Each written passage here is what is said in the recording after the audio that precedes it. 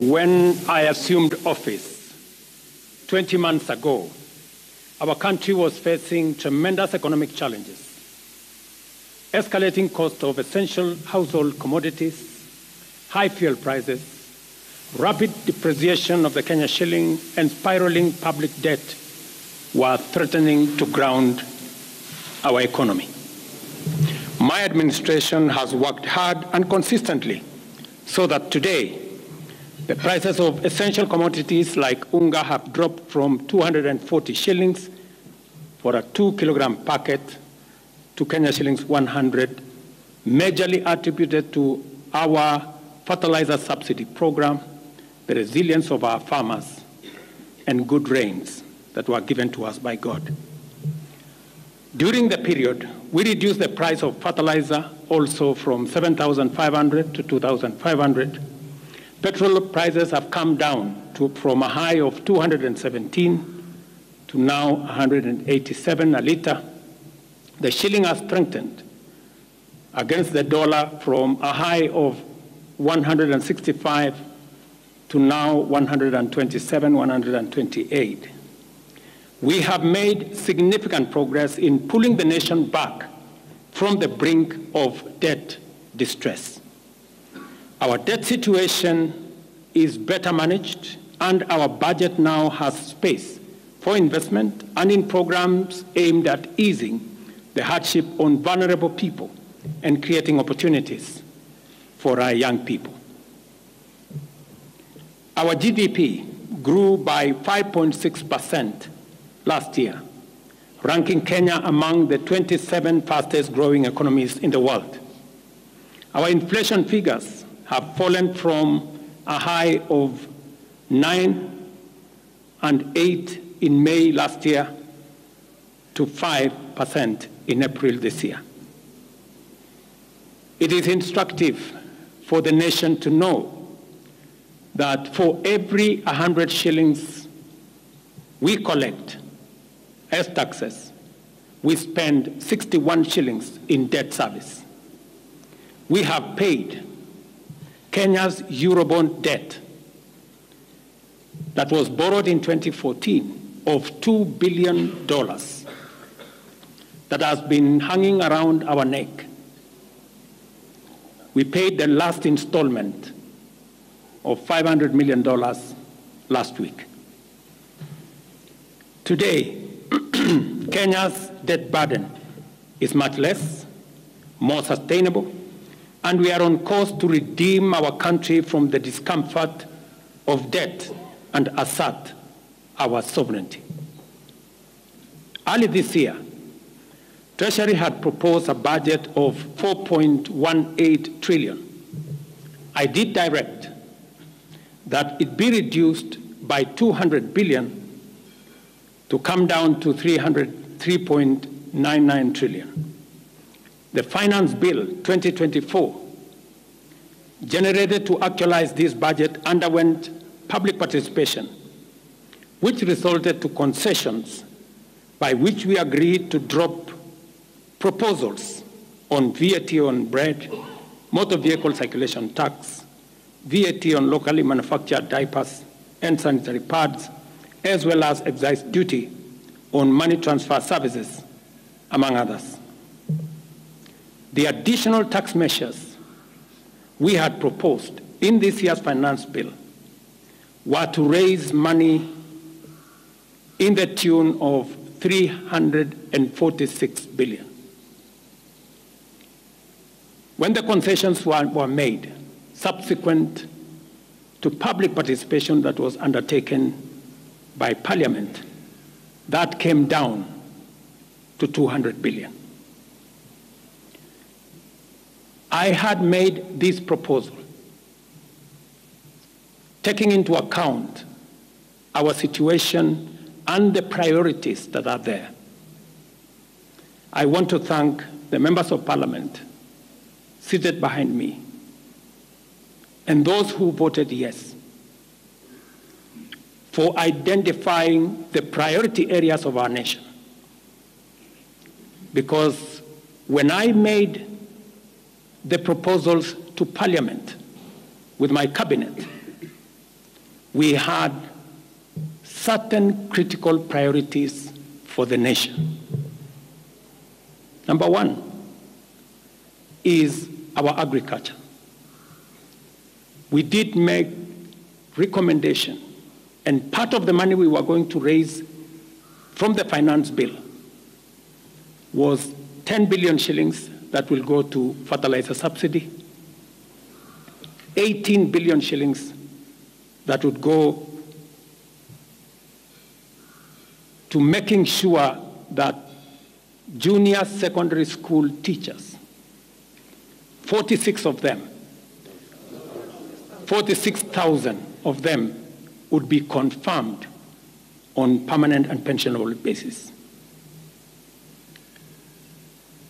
We are very clear in our minds that education, being the greatest equalizer, no child in Kenya should go to a school where there is no teacher or where there are no adequate teachers. It is because of that reason that in this finance bill also, we had committed to hire an extra 20,000 teachers. We also had envisioned, because of the program of last mile connectivity to homes, especially in rural areas, we had committed 14.5 billion shillings, 50 million for every constituency for the last mile connectivity. Because we realize that there are many people who today cannot go to hospital because they cannot afford, because they have no health insurance. We had committed 6 billion shillings to operationalize our universal health coverage plan that would make it possible for every citizen to have a health insurance, those who cannot afford to be paid for by the government of Kenya, and to also operationalize the chronic uh, illness fund that would make it possible for those who suffer from cancer, diabetes, hypertension, to be able to go to hospital, be treated, and go home without being asked for any money. We also had planned to put in money for our coffee farmers to retire the heavy debts that are bedeviling our coffee farmers. We also had allocated money for our sugarcane farmers to make sure that our sugarcane farmers get out of the debts that they're in.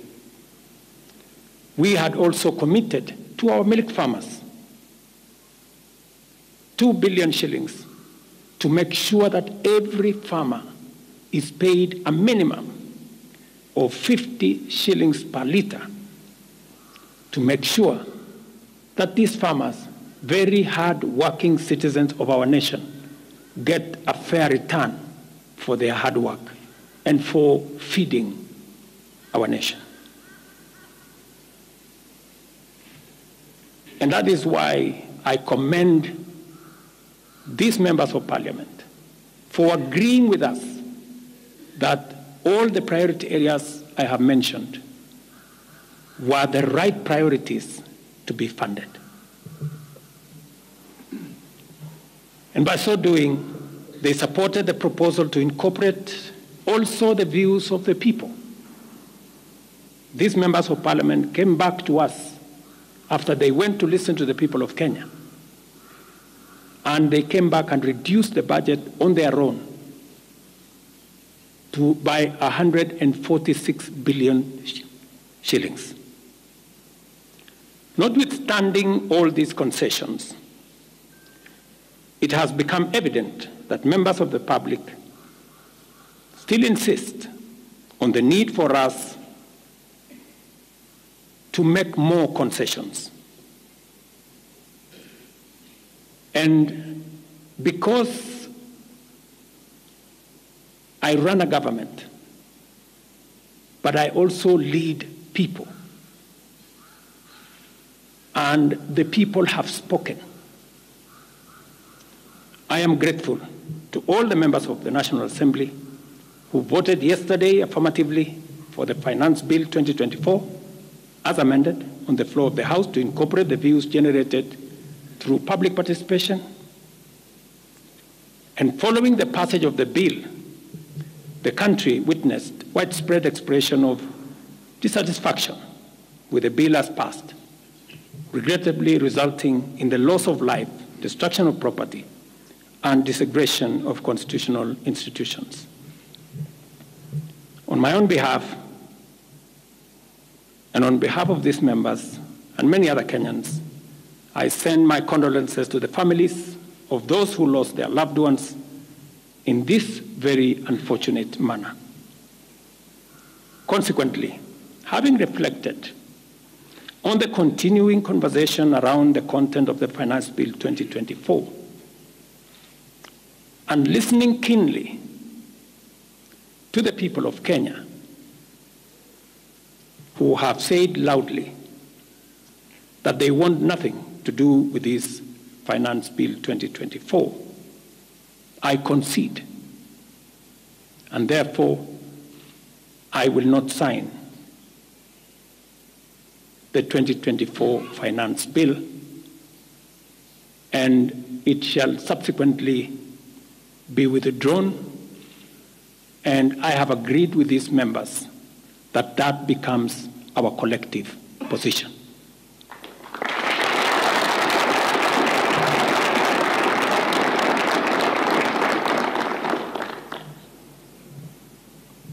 Accordingly, there is need for us as a nation to pick up from here and go into the future. And I am therefore proposing that because we have gotten rid of the Finance Bill 2024, it is necessary for us to have a conversation as a nation going forward. How do we manage the affairs of the country together? How do we manage our debt situation together? How do we work on the budget with the deficits that now exist together? And as I committed last Sunday, I will be proposing an engagement with the young people of our nation. Our sons and daughters. For us to listen to them, as I said on Sunday, listen to their views, listen to their proposals, their ideas, their concerns, and what they think we should do better as we go forward.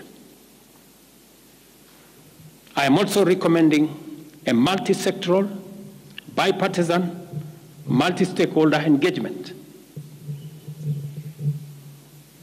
from civil society, religious organizations, professional bodies, for us as a nation to speak to the future of our country. Again, together. And this will be on matters that are contained in the bill and matters that the people of Kenya have canvassed in the conversation that has been going on.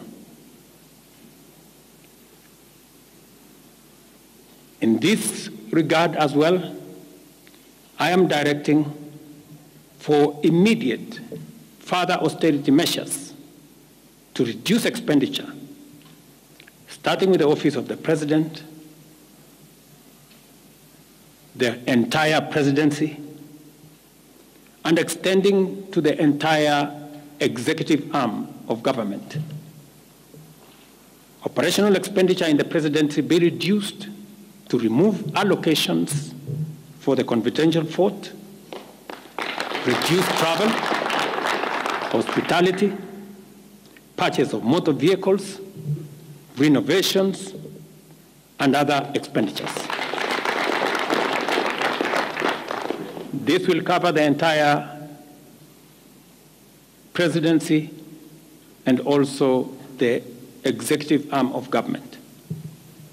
I also propose that equally, Parliament, the judiciary, and county governments, working with the National Treasury, also undertake budget cuts and austerity to ensure that we do live within our means, respecting the very loud message that is coming from the people of Kenya.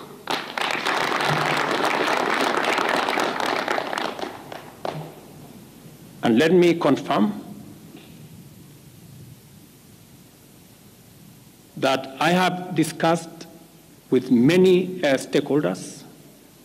I will be meeting some of them uh, shortly after this meeting on charting a way forward that makes sure that we carry the whole nation in this very important journey as we go into the future as a country. Let me also confirm that as we deal with austerity, the loud message on dealing firmly, decisively, and expeditiously with corruption is a matter that we have discussed and we have agreed that it will take the front banner as we go into the future. We will continue to do this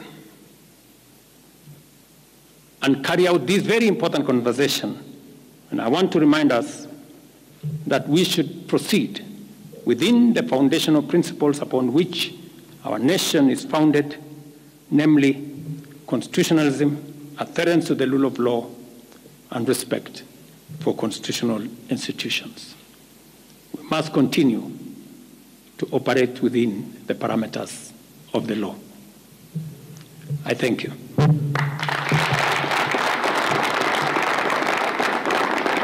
I will uh, take a few questions, three questions to be specific. Thank you, Your Excellency. And the first question will start with Elizabeth Mutuku from TV47.